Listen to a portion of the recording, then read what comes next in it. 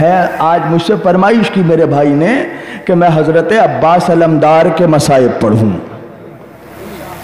ہاں عزیزان گرامی، کون عباس؟ دو محرم کو کربلا میں قافلہ آل محمد پہنچا۔ خیمے لگائے گئے۔ کچھ وقت گزرا تھا کہ دور سے حضرت عباس نے ایک منظر دیکھا۔ کیا منظر دیکھا؟ شبیہ پیمبر جوان علی اکبر۔ میرے بھائی نے مجھ سے فرمائش پہلے کی تھی، مولانا آپ علی اکبر کے مسائب پڑھیے۔ میں نے کہا، بھائی، یا تو میں مر جاؤں گا، یا تو سننے والے مر جائیں گے۔ میں سوائے محرم کے حضرت علی اکبر کے مسائب نہیں پڑھ پاتا ہوں۔ میں نے اللہ سے دعا بھی کی ہے، پروردگار، مجھے موت اس وقت دینا جب میں ممبر پر حسین کے جوان کی شہادت پڑھ رہا ہوں۔ علی اکبر کے مسائب پڑھتا رہوں۔ عباس نے دور سے یہ منظر دیکھا کیا دیکھا؟ علی اکبر کچھ لوگوں سے بحث کر رہے ہیں۔ شبیہ پیمبر کا جمال نما چہرہ جلال میں تبدیل ہے۔ ایک مرتبہ عباس دوڑتے ہوئے قریب آئے۔ علمدار نے آ کر ایک مرتبہ اکبر سے کہا، بیٹا اکبر، کیا بات ہے میرے لال؟ تمہارے یہ جمال نما چہرے پہ جلال کس لیے؟ سن سکو گے آزادارو ایک مرتبہ علی اکبر کہنے لگے، چچا مجان عباس، یہ لوگ میرے بابا کے خیموں کو ہٹانے آئے ہیں۔ یہ کہتے ہیں کہ بابا کے خیمے ہٹا لیے جائے۔ ایک مرتبہ اکبر کے سینے پر عباس نے ہاتھ رکھا۔ کہا، بیٹا اکبر، ابھی تیرے چچا کے بازو سلامت ہے۔ بیٹا اکبر، ابھی تیرے چچا کے بازو سلامت ہے میرے شہزادے۔ ایک مرتبہ اکبر کو پیچھے کیا، خود سامنے آ کر ایک مرتبہ فوج سے کہنے لگے، کس میں ہمت ہے کہ عباس کے ہوتے ہوئے میرے آقا کے خیمے ہٹا دے؟ سن سکو گے آزادارو حسین عباس کے پاس نہیں آئے۔ حسین نے عباس کو آواز نہیں دی۔ حسین دوڑتے ہوئے زینب کے خیمے میں گئے۔ جا کے ایک مرتبہ کہنے لگے، بہن زینب، میرے شیر کو جلال آ گیا ہے۔ بہن، ذرا عباس کو بلا لو۔ زینب کہنے لگی، بھیا، عباس کو آپ کیوں نہیں بلاتے؟ آپ کیوں نہیں روکتے؟ سن سکو کیا زادارو؟ حسین کا جواب حسین کہتے ہیں، زینب، میں عباس کو کہاں کہاں روکو زینب اب مجھے شرم آتی ہے، میں عباس کو نہیں روک سکتا۔ زینب میری گزارش ہے کہ تم میرے شیر کو بلا لو۔ ایک مرتبہ زینب نے فضا سے کہا فضا ذرا جا کر میرے شیر کو آواز دے کر کہو۔ زینب نے بلایا ہے۔ فضا خیمے سے نکلی۔ عباس، زینب نے یاد کیا ہے۔ شہزادارو جیسے ہی سنا نا، شہزادی زینب نے بلایا ہے، ایک مرتبہ عباس نے نیام سے تلوار نکالا، زمین پر خط کھینچا، خط کھینچ کر کہا، خبردار! جب تک عباس نہ آ جائے، اس لکیر کو پار نہ کرنا۔ یہ کہہ کر ایک مرتبہ شہزادی کے خیمے میں آئے۔ سلام کیا؟ جواب سلام ملا۔ سن سکو گے؟ عباس کہنے لگے، شہزادی، آپ نے مجھے بلایا ہے۔ ایک مرتبہ زینب نے بھائی کے سر پر ہاتھ رکھا۔ کہنے لگی، میرے بھیا، میرے شیر، میں نے سنا ہے، تجھے جلال آ گیا۔ کا شہزادی میرے رہتے ہوئے میرے آقا کے خیمے ہٹا دیے جائیں۔ ایک مرتبہ زینب کہنے لگی، عباس، یہ میں کہتی ہوں، تو تلوار نیام میں رکھ لے۔ ایک مرتبہ عباس نے سر جھکا کر کہا، شہزادی، اس سے بہتر تو یہ ہوتا کہ آپ کہتی، عباس، اپنا سر کاٹ کر میرے قدموں میں رکھ دے۔ ہاں زادارو ہاں داروں سن سکو گے بہن کا جواب۔ شہزادی زینب کہتی ہے عباس، اگر تم میری بات نہیں مانو گے نا عباس، تو میں اپنے سر سے چادر سرکا دوں گی. ہاں غیرت مند عباس، جیسے ہی زینب کی چادر کی بات آئی، ایک مرتبہ تلوار نکالا، گھٹنوں سے تلوار توڑا، شہزادی کے قدموں میں ڈالا، کہا، شہزادی، پھر سے نہ کہنا، اما نے مجھے مزار رسول پر قسم کے لایا ہے جب تک میرے بازو سلامات زینب کی ردا سلامات حاضروں میں ہاتھ جوڑ کر کہوں گا، غازی، مولا عباس، ارے زینب نے آج چادر ہٹنے کی بات کی۔ غازی، آپ کو برداشت نہیں ہوا۔ ارے ذرا شام غریبہ میں آ کر دیکھو۔ ارے یہی زینب، سر پر ہاتھ رکھے، شمر نیزا لیے۔ زینب فرات کی طرف دیکھ کر پکارے گی۔ ہاں با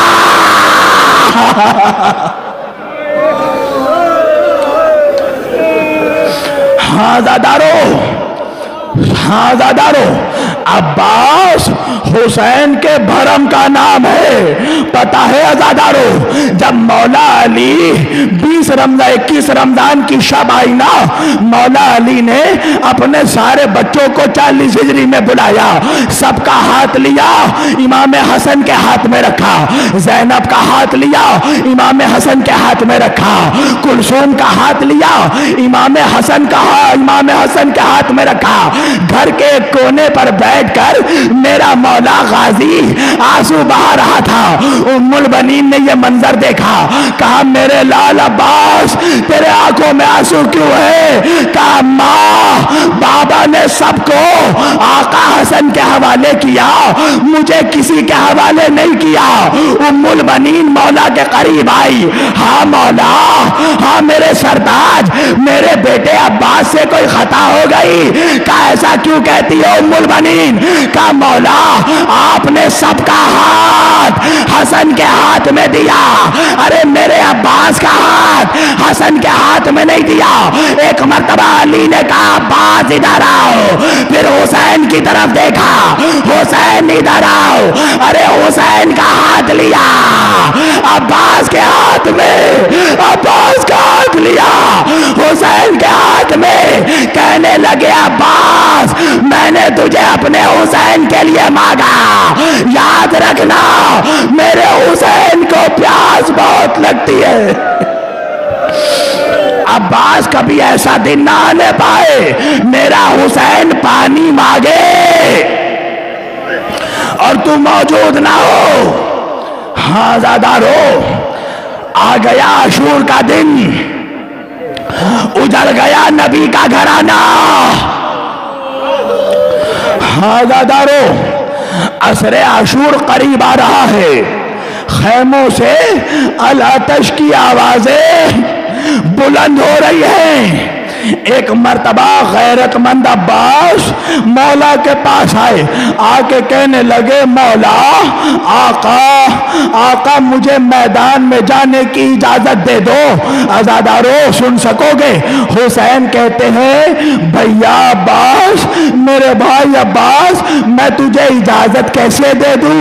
تو تو میرے لشکر کا علمدار ہے۔ ہاں جس عباس نے کبھی زبان نہیں کھولی نا، پہلی مرتبہ، ایک مرتبہ کہنے لگا، عباس، آقا معاف کرنا، جب لشکر ہی نہیں رہا۔ تو علمداری کس کی کرو؟ ہاں دادارو حسین نے کہا عباس ضد نہ کرو۔ ایک مرتبہ عباس کہنے لگے، ٹھیک ہے آقا، اگر میدان میں جانے کی اجازت نہیں دیتے، نہ صحیح۔ آقا، مجھے سکینہ کی پیاس دیکھی نہیں جاتی۔ آقا میری سکینہ علتش کی آوازیں بلند کر رہی ہے۔ آقا کم از کم فرات میں پانی لانے کی اجازت تو دے دو۔ ہاں زادارو، حسین نے عباس کی طرف بڑی حسرتوں سے دیکھا۔ دیکھ کر کہا، ٹھیک ہے بھیا، اجازت تو دوں گا، مگر اجازت مشروط ہے۔ ایک شرط ہے کہ آقا، کیسی اجازت؟ کہ عباس تلوار لے کر نہ جانا۔ عباس، تلوار لے کر نہ جانا، کہا، آقا منظور ہاں دادارو گھوڑے پہ غازی سوار ہو گیا۔ ایک ہاتھ میں علم لیا، ٹوٹا ہوا نیزا لیا۔ ایک ہاتھ میں مشکیزہ لیا۔ ہاں زادارو، ادھر عباس گھوڑے پہ سوار ہونے لگے نا۔ ادھر ننی سکینہ، بچوں کو قریب بلاتی ہے اور کہتی ہے، بچوں، اب گھبراؤ نہیں، میرا امو جا رہا ہے پانی لالے ہاں زادارو، عباس فرات کی طرف بڑھے۔ فرات کے قریب بڑھے۔ عالم کیا ہے؟ شاعر کہتا ہے کہ سارا مجمع چھڑ گیا۔ چاروں طرف ہے بات کس شیر کی آمد ہے کہ رن کاپ رہا ہے؟ رن ایک طرف چرخے کوہن کاپ رہا ہے؟ ارے رستم کا بدن زیر کفن کاپ رہا ہے۔ ہر قصر سلاطین زمان کاپ رہا ہے۔ شمشیر بکف دیکھ کے حیدر کے پسر کو جبریل لرستے ہیں۔ سمیٹے ہوئے پر کو حیبت سے ہے۔ نوقیل افلاق کے دربند جلاد فلک بھی نظر آتا ہے۔ نظر بند۔ ارے خورشید کے پنجوں سے قلم جھوٹ پڑا ہے۔ عباس کے ہاتھوں سے۔ اللہ! حسین نے اکبر کو ہازادارو رونے میں کمی مت کرنا۔ سکینہ کے چچا کے مسائب ہے ارے، وہ بھی بی بی آئی ہے، جس نے عباس کو اپنا بیٹا کہا۔ ایک بی بی آتی ہے نا، جنت البقی سے آتی ہے۔ اجڑی ہوئی جنت سے ایک بی بی آتی ہے۔ مگر پہلے شام جاتی ہے، چار سال کی بچی کو لیتی ہے۔ اور جب آزادارو اس مجلس میں آتی ہے نا، جب سکینہ تمہیں روتے ہوئے دیکھتی ہے نا، تو اپنی دادی سیدہ سے کہتی ہے، دادی اماں، ارے یہ میرے بابا کے آزادار کربلا میں کہا تھے؟ ارے دادی، اگر یہ کربلا میں ہوتے، شمر مجھے تماچے نہ مارتا۔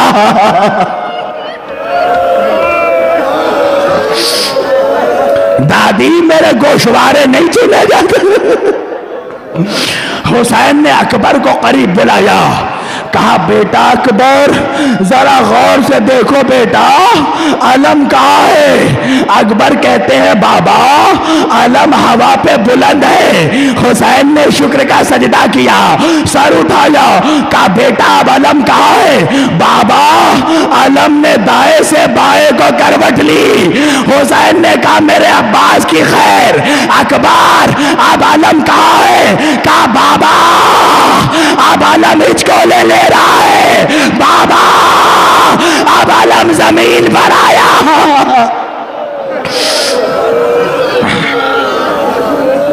ہاں زیادہ سن سکو گے۔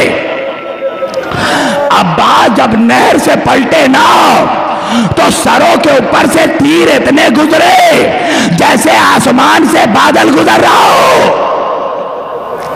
ایک ظالم بڑھا، اس نے دایا بازو قلم کیا۔ ایک ظالم بڑا بایا بازو قلم کیا۔ ایک ظالم نے گرز مارا۔ ہاں دادارو سن سکو گے، بس ایک واقعہ اور میں تقریر اپنی ختم کر دوں گا۔ عباس کا قد کتنا تھا؟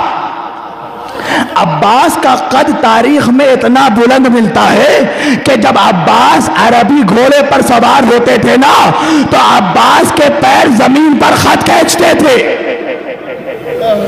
ایک ذاکر حسین ممبر سے مولا عباس کے مسائل پڑھ رہا تھا۔ واقعہ پڑھا کہ عباس کے سر پر گرز لگا۔ مجلس تمام ہوئی۔ اپنے گھر گیا۔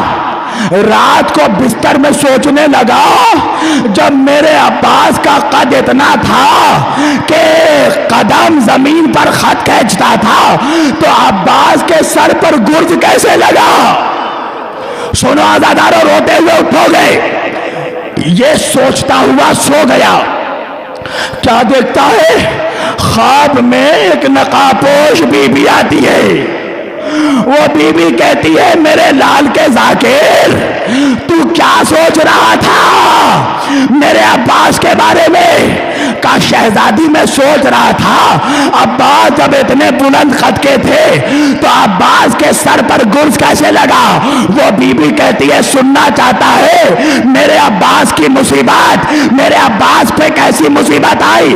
کہا ہاں بی بی کہا، سن، جب میرا عباس نہر پر گیا تو فوج چھٹ گئی۔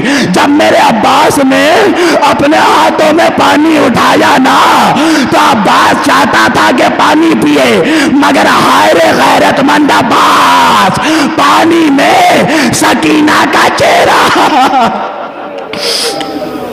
میرے عباس نے پانی پھینک دیا، مشکیزہ بھرا۔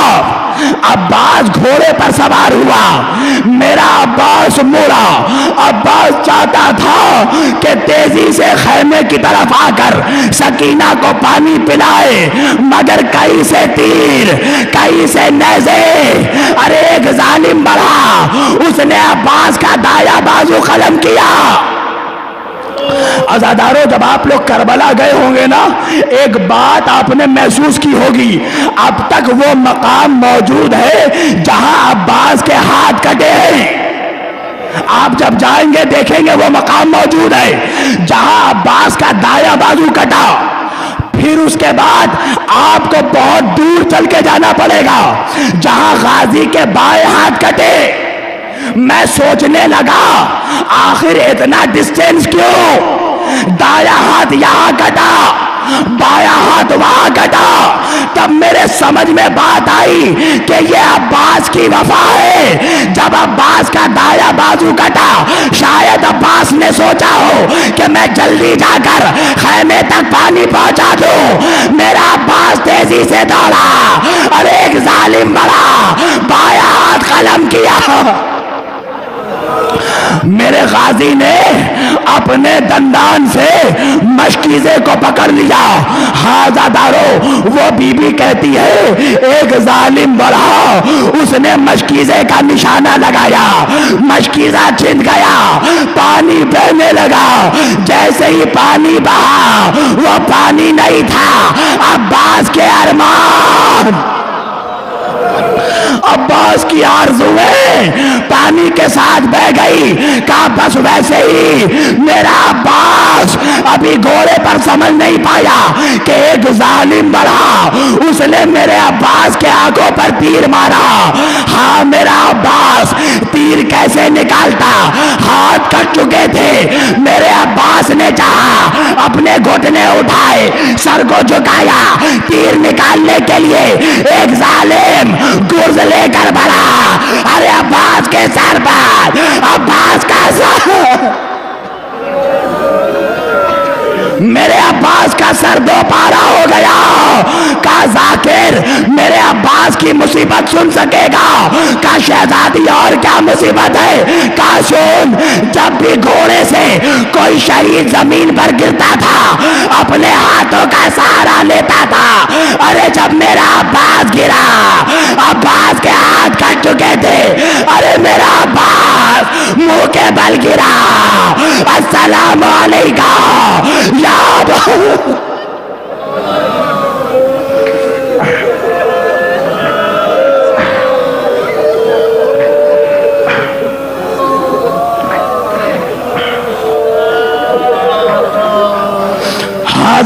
بس ختم کر دیا میں نے۔ ایک منٹ تقریر تمام ہو گئی۔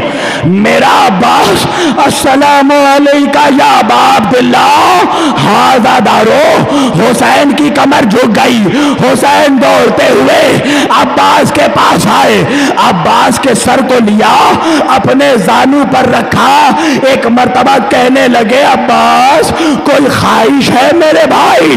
کہا، آقا، مرنے سے پہلے ایک مرتبہ آپ کے چہرے کی زیارت کرنا چاہتا ہوں۔ مولا میرے آنکھوں میں ظالم نے تیر مارا ہے۔ میرے ایک آنکھ کو صاف کر دیجیے۔ حسین نے آنکھوں کو صاف کیا۔ عباس نے حسین کی زیارت کی۔ ہازاداروں سن سکو گے۔ ایک مرتبہ حسین کہتے، عباس بھیا، حسین حسین کی بھی یہ خواہش پوری کر دو گے۔ کہا آقا کیسی خواہش؟ کہا بیٹا میرے لال عباس، بچپن سے تم نے مجھے آقا کہہ کے پکارا۔ ارے، ایک مرتبہ بھیا کہہ کر پکار دے۔ عباس نے کہا، بھیا، بھائی بھائی کے سینے سے لگا۔ عباس نے کہا، آقا، مجھے خیمے میں نہ لے جانا۔ میرے جنازے کو فرات کے قریب چھوڑ دینا۔ ارے عباس، سکینہ کو منہ نہیں دکھا سکتا۔ سکینہ انتظار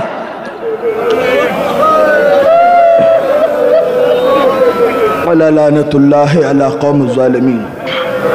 وسيعلم الذين ظلموا